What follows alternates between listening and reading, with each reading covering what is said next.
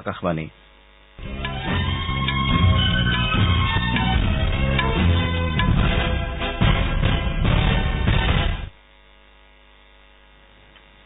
বাতৰি পঢ়িছে পংকজ নয়ন ভট্টাচাৰ্যই। এতিয়াৰ প্ৰধান বাতৰিসমূহ হৈছে ছত্তিশগড় বিধানসভাৰ প্ৰথম পৰ্যায়ৰ নিৰ্বাচনৰ আজি ভোটগ্ৰহণ অনুষ্ঠিত হৈছে। প্ৰধানমন্ত্ৰী নৰেন্দ্ৰ মোদীয়ে আজি উত্তৰ প্ৰদেশৰ বাৰাণসীত দুটা গুৰুত্বপূৰ্ণ ৰাষ্ট্ৰীয় ঘাইপথ আৰু গংগা নৈৰ ওপৰত অভ্যন্তৰীণ জলপথৰ টাৰ্মিনেল ৰাষ্ট্ৰৰ নামত উৎসৰ্গা কৰিব। ৰাজস্থান আৰু তেলেংগানা বিধানসভা নিৰ্বাচনৰ বাবে মনোনয়ন পত্ৰ দাখিলৰ কাম আজি আৰম্ভ হ'ব। আৰু গুয়েনাত চলি থকা মহিলা টি টুৱেণ্টি বিশ্বকাপ প্ৰতিযোগিতাৰ এখন খেলত কালি ভাৰতে পাকিস্তানক সাত উইকেটত পৰাস্ত কৰিছে। ইপিনে টি টুৱেণ্টি শৃংখলাৰ চেন্নাইত হোৱা এখন খেলত ভাৰতে ৱেষ্ট ইণ্ডিজক ছয় উইকেটত পৰাস্ত কৰি তিনি শূন্যৰ ব্যৱধানত শৃংখলা দখল কৰিছে।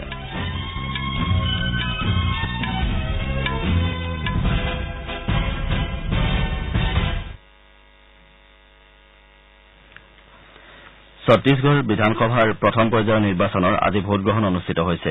এই পৰ্যায়ত নক্সাল প্ৰভাৱিত আঠখন জিলাৰ ওঠৰটা সমষ্টিৰ বাবে ভোটগ্ৰহণ কৰা হৈছে। ভোটগ্ৰহণ মুক্ত নিকা আৰু শান্তিপূৰ্ণভাৱে সম্পন্ন কৰাৰ বাবে ব্যাপক নিৰাপত্তা ব্যৱস্থা গ্ৰহণ কৰা হৈছে। C R P F B S F I T B P আৰু ৰাজ্যিক আৰক্ষীকে ধৰি নিৰাপত্তা বাহিনীৰ প্ৰায় এক লাখ জোৱানক নিয়োজিত কৰা হৈছে। ভোটগ্ৰহণ কৰিবলগীয়া অঞ্চলসমূহৰ বাবে ভাৰতীয় বায়ু সেনা বাহিনী আৰু বি এছ এফৰ হেলিকপ্তাৰো সাজু কৰি ৰখা হৈছে।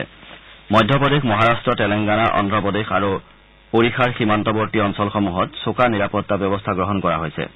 মাওবাদী প্ৰভাৱিত দহটা সমষ্টিত ভোটগ্ৰহণ পুৱা সাত বজাৰ পৰা আৰম্ভ হৈ বিয়লি তিনি বজাত সামৰণি পৰিব। অন্যান্য সমষ্টিসমূহত পুৱা আঠ বজাৰ পৰা বিয়লি পাঁচ বজালৈ ভোটগ্ৰহণ কৰা হ'ব। ওঠৰখন আসনৰ বাবে এইবাৰ এশ নব্বৈগৰাকী প্ৰাৰ্থীয়ে প্ৰতিদ্বন্দ্বিতা আগবঢ়াইছে। ৰাজ্যখনৰ বাসত্তৰটা সমষ্টিৰ বাবে অহা বিছ নৱেম্বৰত ভোটগ্ৰহণ অনুষ্ঠিত কৰা হ'ব। প্ৰধানমন্ত্ৰী নৰেন্দ্ৰ মোদীয়ে আজি উত্তৰ প্ৰদেশৰ বাৰাণসীত দুটা গুৰুত্বপূৰ্ণ ৰাষ্ট্ৰীয় ঘাইপথ আৰু গংগা নৈৰ ওপৰত এটা অভ্যন্তৰীণ জলপথৰ টাৰ্মিনেল ৰাষ্ট্ৰৰ নামত উৎসৰ্গা কৰিব। ডেৰ হাজাৰ কোটি টকা ব্যয়েৰে চৌত্ৰিশ কিলোমিটাৰ দৈৰ্ঘ্যৰ ঘাইপথ দুটা নিৰ্মাণ কৰি উলিওৱা হৈছে। চৰকাৰী সূত্ৰত প্ৰকাশ পোৱা মতে ষোল্ল দশমিক পাঁচ কিলোমিটাৰ দৈৰ্ঘ্যৰ প্ৰথম পৰ্যায়ৰ বাৰাণসী ৰিং ৰোড সাতশ ঊনষাঠি কোটি টকা আৰু সোতৰ দশমিক দুই পাঁচ কিলোমিটাৰ দৈৰ্ঘ্যৰ বাবতপুৰ বাৰাণসী পথ আঠশ বাৰ কোটি টকা ব্যয়েৰে নিৰ্মাণ কৰা হৈছে। বাবতপুৰ বিমান বন্দৰ ঘাইপথে বাৰাণসীত বিমান বন্দৰলৈ সংযোগ কৰাৰ লগতে জোনপুৰ চুলতানপুৰ আৰু লক্ষ্ণৌলৈ প্ৰসাৰিত হ'ব। এই নতুন পথছোৱাৰ সহায়ত বাৰাণসীৰ পৰা বিমান বন্দৰলৈ যাত্ৰাৰ সময় পূৰ্বতকৈ হ্ৰাস পাব। প্ৰধানমন্ত্ৰীয়ে লগতে বাৰাণসীৰ গংগা নৈৰ ওপৰত এটা অভ্যন্তৰীণ জলপথো জনসাধাৰণৰ বাবে উৎসৰ্গা কৰিব। উল্লেখযোগ্য যে বিশ্ব বেংকৰ সাহায্যত জলমাৰ্গ বিকাশ প্ৰকল্পৰ অংশ হিচাপে ভাৰতৰ অভ্যন্তৰীণ জলপথ প্ৰাধিকৰণে গংগা নৈৰ ওপৰত নিৰ্মাণ কৰা এইটো হৈছে প্ৰথমটো টাৰ্মিনেল। আন তিনিটা টাৰ্মিনেল চাহিবগঞ্জ হালদিয়া আৰু গাজীপুৰত নিৰ্মাণ কৰি থকা হৈছে। প্ৰধানমন্ত্ৰী মোদীয়ে আজি প্ৰথমবাৰৰ বাবে দেশৰ অভ্যন্তৰীণ জলপথেৰে প্ৰেৰণ কৰা খাদ্য আৰু পানীয় সামগ্ৰী পৰিবাহী ভাণ্ডাৰটো আনুষ্ঠানিকভাৱে গ্ৰহণ কৰিব। কেন্দ্ৰীয় মন্ত্ৰী নীতিন গাডকাৰীয়ে মহাৰাট্টৰ চন্দ্ৰপুৰ জিলাৰ বাবে আঠ হাজাৰ পাঁচশ কোটি টকাৰ এক বিশেষ পেকেজৰ বিষয়ে ঘোষণা কৰিছে। এই পেকেজৰ ভিতৰত আছে পাঁচশ ছয়সত্তৰ কিলোমিটাৰজোৰা পথ এখন দলং আৰু অন্যান্য উন্নয়নমূলক কাৰ্যসূচী। কালি চন্দ্ৰপুৰৰ ওচৰৰ বামনিত এখন জনসভাত ভাষণ দি মন্ত্ৰীগৰাকীয়ে এই বিষয়ে প্ৰকাশ কৰে। তেওঁ লগতে গোচিখুৰ জলসিঞ্চন প্ৰকল্পৰ কাম শীঘ্ৰে সম্পূৰ্ণ কৰাটো গুৰুত্ব আৰোপ কৰে। ইয়াৰ পাছত শ্ৰীগাডকাৰীয়ে চন্দ্ৰপুৰ জিলাৰ তদালিত প্লাষ্টিক অভিযান্ত্ৰিক আৰু প্ৰযুক্তিবিদ্যাৰ কেন্দ্ৰীয় প্ৰতিষ্ঠান চমুকৈ চিপেটৰ আধাৰশিলা স্থাপন কৰে। তিনিদিনীয়া ভ্ৰমণসূচীৰে পেৰিছলৈ যোৱা উপ ৰাষ্ট্ৰপতি এম ভেংকায়া নাইডুৱে পেৰিছত অনুষ্ঠিত প্ৰথম বিশ্বযুদ্ধৰ সামৰণিৰ শতবাৰ্ষিকী অনুষ্ঠানত ভাৰতক প্ৰতিনিধিত্ব কৰে। প্ৰথম বিশ্বযুদ্ধ ঊনৈছশ ওঠৰ চনৰ এঘাৰ নৱেম্বৰত অন্ত পৰিছিল।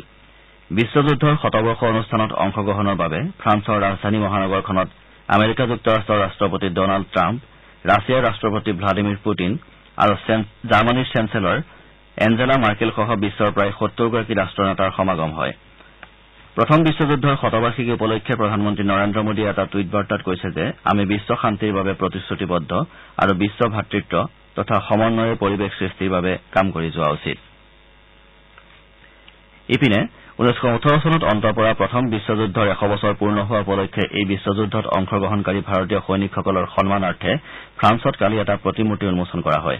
প্ৰথম বিশ্বযুদ্ধৰ সময়ত প্ৰাণ হেৰুওৱা আৰু সমাধি থকা বুলি চিনাক্ত নোহোৱা সৈনিক শ্ৰমিকসকলৰ সোঁৱৰণত লেভেণ্টাইন নগৰত সাত ফুট উচ্চতাৰ এই ব্ৰঞ্জৰ প্ৰতিমূৰ্তিটো স্থাপন কৰা হৈছে।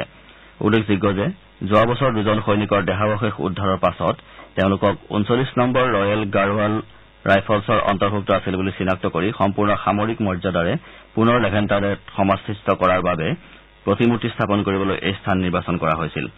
অনুষ্ঠানত অংশগ্ৰহণ কৰি ভাৰতীয় সেনা বাহিনীত তেইছ বছৰে সেৱা আগবঢ়াই বৰ্তমান পেৰিছত থকা অৱসৰপ্ৰাপ্ত কৰ্ণেল দীপক দহিয়াই কয় যে এই প্ৰতিমূৰ্তি উন্মোচনৰ লগে লগে ভাৰতীয় সেনা জোৱান সমাধিস্থ হৈ থকা ফ্ৰান্সৰ যুদ্ধ স্মাৰকসমূহৰ সমীপত সাতাৱন্নটা এনে প্ৰতিমূৰ্তি নিৰ্মাণৰ প্ৰকল্পৰ শুভাৰম্ভ হল।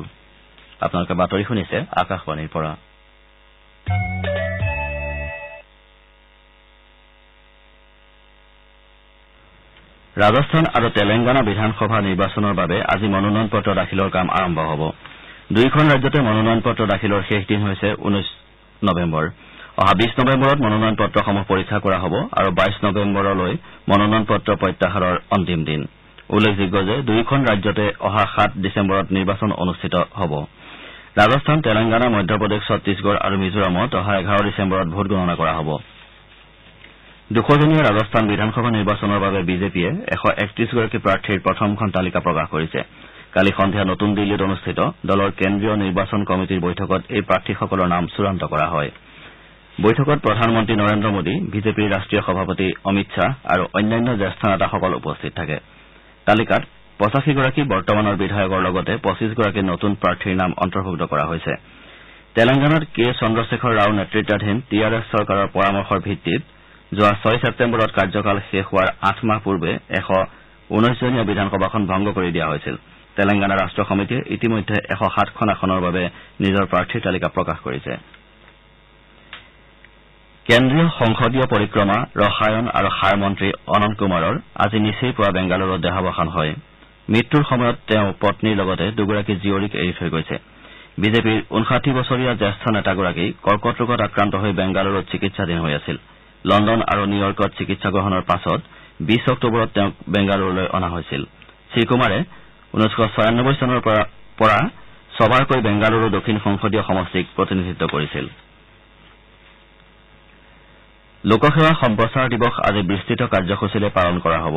উল্লেখযোগ্য যে জাতিৰ পিতা মহাম্মা গান্ধীয়ে ঊনৈছশ সাতচল্লিছ চনত প্ৰথম আৰু শেষবাৰৰ বাবে দিল্লীৰ আকাশবাণীৰ ষ্টুডিঅ' পৰিদৰ্শন কৰা দিনটোৰ স্মৃতিত প্ৰতি বছৰে এই দিৱস পালন কৰি অহা হৈছে। জাতিৰ পিতাগৰাকীয়ে সেইদিনা দেশ বিভাজনৰ পাছত হাৰিয়ানাৰ কুৰুক্ষেত্ৰত অস্থায়ীভাৱে বাস কৰিবলৈ লোৱা লোকসকলক উদ্দেশ্যি ভাষণ দিছিল। এই দিৱস পালনৰ উদ্দেশ্যে আকাশবাণী দিল্লীৰ চৌহদত বিশেষ অনুষ্ঠানৰ আয়োজন কৰা হৈছে। গুৱেনাত চলি থকা মহিলা টি টুৱেণ্টি বিশ্বকাপ প্ৰতিযোগিতাৰ এখন খেলত কালি ভাৰতে পাকিস্তানক সাত উইকেটত সহজে পৰাস্ত কৰে। ভাৰতৰ তাৰকা খেলুৱৈ মিতালী ৰাজৰ দ্ৰুত অৰ্ধ শতৰানে এই বিজয়ত অৰিহণা যোগায়। ভাৰতীয় দলটোৱে ছটা বল বাকী থকা অৱস্থাতে এশ চৌত্ৰিশ ৰানৰ বিজয়ৰ লক্ষ্য অতিক্ৰম কৰে। ভাৰতে তিনিটা উইকেট হেৰুৱাই ঊনৈশ অভাৰত এশ সাতত্ৰিশ ৰান কৰে।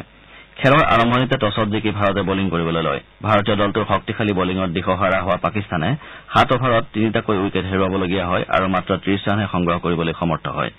যোৱা নিশাৰ খেলখনত বিজয়ী হোৱাৰ জৰিয়তে ভাৰতে চাৰি পইণ্ট লাভ কৰি গ্ৰুপ বিৰ পৰা ছেমি ফাইনেলত প্ৰৱেশ কৰাৰ আশা উজ্জীৱিত কৰিলে। উল্লেখযোগ্য যে প্ৰতিযোগিতাৰ দুটা গ্ৰুপৰ পৰা দুটাকৈ দলে ছেমি ফাইনেল খেলাৰ যোগ্যতা অৰ্জন কৰিব। ভাৰত আৰু ৱেষ্ট ইণ্ডিজৰ মাজৰ টি টুৱেণ্টি ক্ৰিকেট শৃংখলাৰ কালি অনুষ্ঠিত তৃতীয় তথা অন্তিমখন খেলত ভাৰতে আলহী দলটোক ছয় উইকেটত পৰাজিত কৰি তিনি শূন্যৰ ব্যৱধানত শৃংখলা দখল কৰিছে। কালি নিশা চেন্নাইত অনুষ্ঠিত উত্তেজনাপূৰ্ণ খেলখনত শিখৰ ধাৱানৰ বিৰান্নবৈ আৰু ঋষভ পণ্টৰ আঠাৱন্ন ৰানৰ সহায়ত অন্তিমটো বলত ভাৰতে নিজৰ বিজয় সাব্যস্ত কৰে। খেলখনত ভাৰতে নিৰ্ধাৰিত বিছ অভাৰত চাৰিটা উইকেটৰ বিনিময়ত এশ বিৰাশী ৰান সংগ্ৰহ কৰে। ইয়াৰ পূৰ্বে আলহী দলটোৱে প্ৰথমে বেট ধৰি নিৰ্ধাৰিত অভাৰত তিনিটা উইকেট হেৰুৱাই এশ একাশী ৰান সংগ্ৰহ কৰিছিল। আলহী দলটোৰ হৈ এন পুৰণে সৰ্বাধিক তেপন্ন ৰান কৰাৰ বিপৰীতে ডি এম ব্ৰাভোই তিয়াল্লিছ ৰান কৰি অপৰাজিত হৈ থাকে। ছত্তিশগড় বিধানসভাৰ প্ৰথম পৰ্যায়ৰ নিৰ্বাচনৰ আজি ভোটগ্ৰহণ অনুষ্ঠিত হৈছে। প্ৰধানমন্ত্ৰী নৰেন্দ্ৰ মোদীয়ে আজি উত্তৰ প্ৰদেশৰ বাৰাণসীত দুটা গুৰুত্বপূৰ্ণ ৰাষ্ট্ৰীয় ঘাইপথ আৰু গংগা নৈৰ ওপৰত এটা অভ্যন্তৰীণ জলপথৰ টাৰ্মিনেল ৰাষ্ট্ৰৰ নামত উৎসৰ্গা কৰিব। ৰাজস্থান আৰু তেলেংগানা বিধানসভা নিৰ্বাচনৰ বাবে মনোনয়ন পত্ৰ দাখিলৰ কাম আজি আৰম্ভ হ'ব।